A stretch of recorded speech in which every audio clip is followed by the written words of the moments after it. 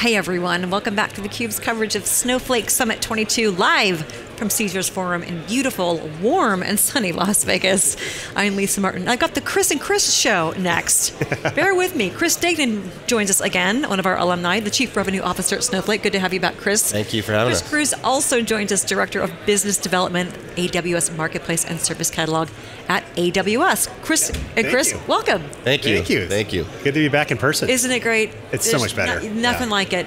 So let's talk. There's been so much momentum, Chris D, at Snowflake the last few years. I mean, the momentum at this show since we launched yesterday. I know you guys launched the day before with partners, has been amazing. A lot of a lot of change, and it's like this for Snowflake. Talk to us about.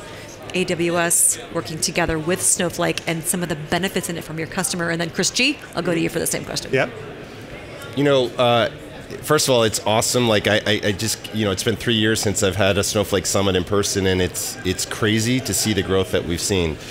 You know, I can't. We, our first cloud that we ever launched on top of was was AWS, and AWS is our, our largest cloud, you know, in, in terms of revenue today, and they've been they just kind of know how how to do it right, and they've been a wonderful partner all along. There's been challenges and we've kind of leaned in together and, and figured out ways to work together you know and solve those challenges so been a, been a wonderful par- partnership And talk about it, Chris G, from your perspective. Obviously, from a co-opetition perspective, Yep. AWS has databases, cloud data Yeah. platforms.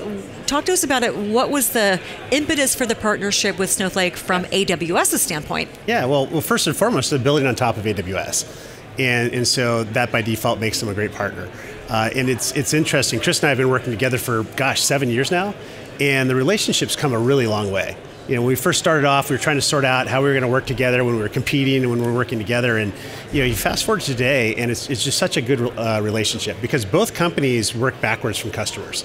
And, and so that's you know kind of in both of our DNA. And so if the customer makes that selection, we're going to support them. Even from an AWS perspective, when they're going with Snowflake, that's still a really good uh, thing for AWS because there's a lot of associated services that Snowflake either integrates to or we're integrating to them. And so it's really kind of contributed to how we can really work together in a co-sell motion. Talk to us talk about that, the joint go-to-market and the co-selling motion from Snowflake's perspective. How do customers get engaged? Well I, I think you know typically we where we are really good at co-selling together is we identify on-premise systems. So whether it's you know some legacy hadoop system some legacy database solution um, and they want to move to the cloud you know Amazon is all in on getting everyone to the cloud, and I think that's their approach uh, they've taken with us is saying we're really good at accelerating that that adoption and, and moving all these you know massive workloads into the cloud. And to Chris's point, you know we've integrated so nicely into things like SageMaker and other other tool sets, and we, we even have uh, exciting scenarios where they, they've uh, allowed us to use uh, some of their Amazon.com uh, retail data sets that we actually use in, in data sharing uh, via the partnership. So we continue to find unique ways to partner with, with our, our, our great friends at, at Amazon. Sounds like a very deep partnership. Yeah, absolutely. Oh, absolutely. Yeah, we're integrating to Snowflake and they're integrating to AWS. And so it, it just provides a great combined experience for our customers.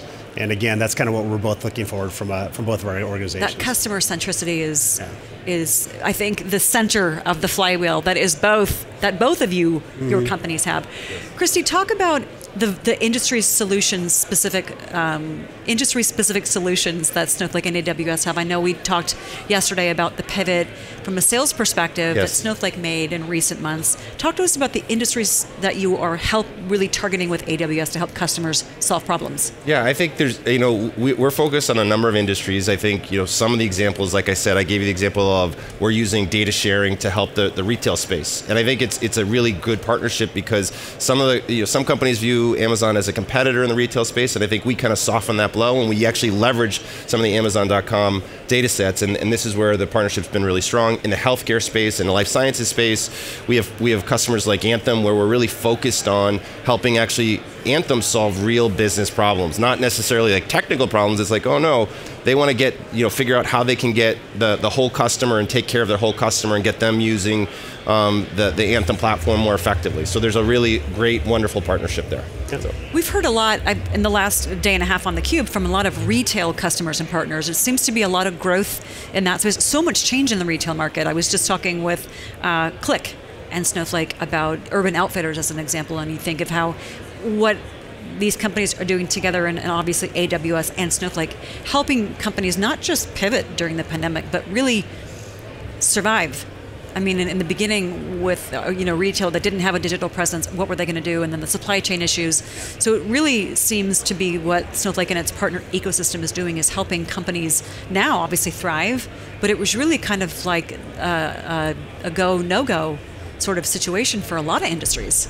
Yeah, and I think I think the the neat part of you know both the combined you know Snowflake and AWS solution is, and a good example is DoorDash. You know, they had hyper growth, and they could not have handled, especially during COVID, as we all know. We, we all use DoorDash, right? We were just talking about it, Chipotle, like you know, like, uh, and um, and I think they were able to really uh, take adv- advantage of our hyper elastic platforms, both on the Amazon side and the Snowflake side, to scale their business and meet the high demand that they were seeing, and and that, that's kind of some of the, the great examples of where we've enabled customer growth to really accelerate. Yeah, so. and I'd add to that, you know, while we saw good growth for those types of companies, a lot of your traditional companies saw a ton of benefit as well. Like another good example, and it's been talked about here at the show, is Western Union, right? So they're a company that's been around for a long time. They do cross-border payments and cross-currency, you know, uh, exchanges. And you know, like a lot of companies that have been around for a while, they have data all over the place. And, and so they started to look at that, and, and that became an inhibitor to their growth because they couldn't get a full view of what was actually going on. And so they did a, a lengthy evaluation and they ended up going with Snowflake. And, and it was great because it provided a lot of immediate benefits. So first of all, they were able to take all those disparate systems and pull that into Snowflake. So they finally had a single source of the truth, which was lacking before that. Uh, so that was one of the big benefits. The second benefit, and Chris has mentioned this a couple times, is the fact that they could use data sharing. And so now they could pull in third data. Now that they had a, a, holistic view of their entire data set, they could pull in that third party data, and now they could get insights that they never could get before. And so that was another large benefit. And then the third part, and this is where the, the relationship between AWS and Snowflake is great, is they could then use Amazon SageMaker. So one of the decisions that Western Union made a long time ago is they use R for their data science platform, and SageMaker supports R. And so it really allowed them to dovetail the skill sets that they had around data science into SageMaker that they can now look across all of Snowflake. And so that was just a, a really good benefit. And so it drove the cost down for, uh, for Western Union, which was a big benefit. But the even bigger benefit is they were now able to start to package and promote different solutions to their customers. So they were effectively able to monetize all the data that they were now getting and the information they were getting out of Snowflake. And then, of course, once it was in there, they could also use things like Tableau or ThoughtSpot, uh, both of which available in AWS Marketplace. And it allowed them to get all kinds of visualization of data that they never got in the past. The monetization piece is, is interesting. It's so challenging for organizations, one, to get that single source view, mm-hmm. to be able to have a customer 360, but to also then be able to monetize data. When you're in customer conversations, how do you help customers on that journey start? Because the, the, their competitors are clearly right behind them, ready to take first place spot. How do you help customers go, all right, this is what we're going to do to help you on this journey with AWS to monetize your data? I, I, think, you know, it's everything from, you know, looking at removing the silos of data. So one of the challenges they've had is they have these legacy systems, and a lot of times they don't want to just take the legacy systems and throw them into the cloud. They want to say, we, we need a holistic view of our customer, 360 uh, view of our customer data. Um, and then they're saying, hey, how can we actually monetize that data? That's where we do everything from, you know, Snowflake has the, the data marketplace where we list it in the data marketplace. Place we help them monetize it there. Uh, and, and, we, we use some of the data sets from uh, Amazon to help them do that. We use the technologies, like, like uh, Chris said, with uh, SageMaker and, and, other tool sets to help them realize the value of their data uh, in, a, in a real meaningful way. So this sounds like a very strategic and technical partnership. Yeah, well, it's, it's technical and it's go to market. So if you take a look at you know Snowflake, where they've they've built over 20 integrations now to different AWS services. So if you're using S3 for object storage, you can use Snowflake on top of that.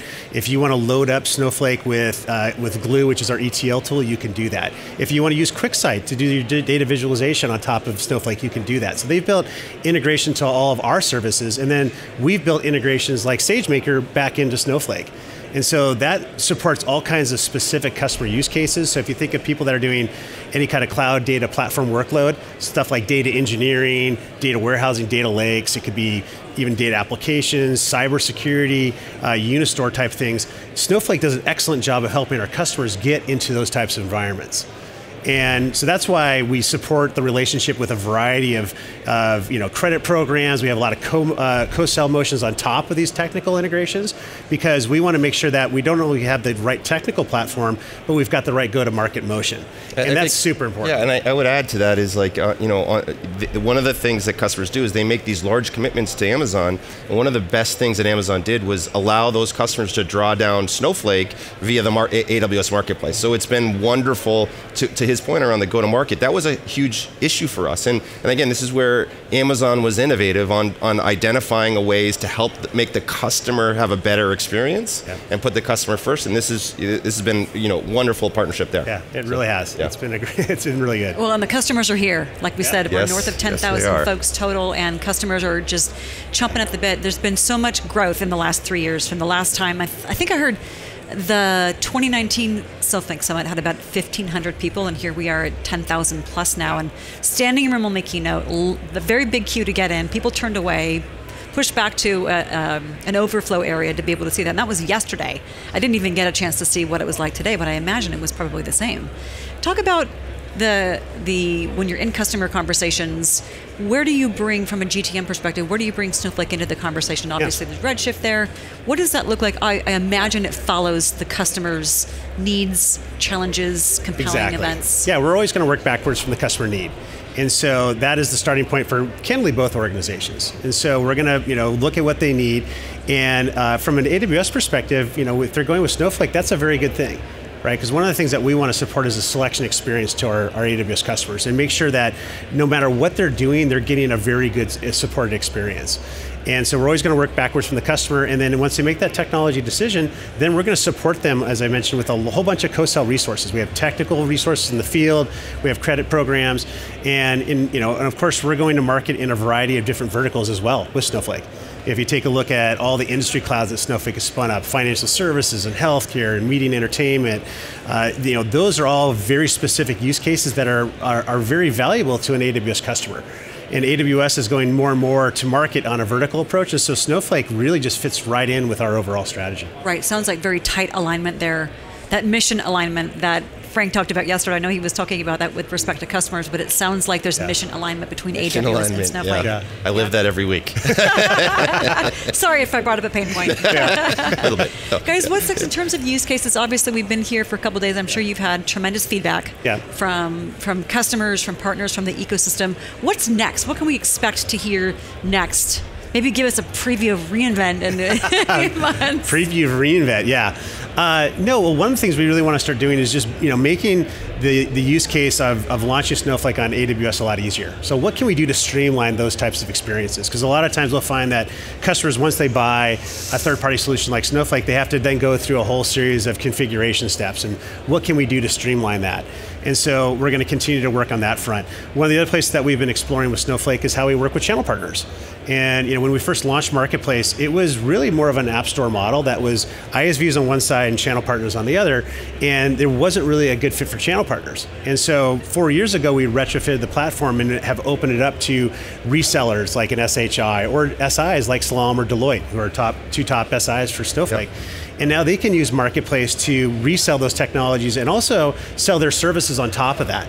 So Snowflake's got a big, you know, practice with Slalom, as I mentioned. S- You know, Slalom can now sell through Marketplace, and they can actually sell that statement of work and put that on the AWS bill, all by virtue of using Marketplace as that automation platform. ease of use for customers, ease of use for partners as well. And that ease of use is, it's no joke. It's it's not just a marketing term. It's measurable and it's about mm-hmm. time to value, time to market, getting customers ahead of their competition so that they can be successful. Guys, thanks for joining me on the Cube today, talking about Nice what to be back. Nice to be and back in so- person. Isn't it Yeah. nice to be back? It's great to be actually sitting across from another human. Exactly. Thank you so much for your insights, what you shared about the partnership and where it's going. We appreciate it. Thank you. Cool, thank you. Thank All you. right, guys. Yep. For Chris and Chris, I'm Lisa Martin. You're watching theCUBE live from Las Vegas. I'll be back with my next guest momentarily, so stick around.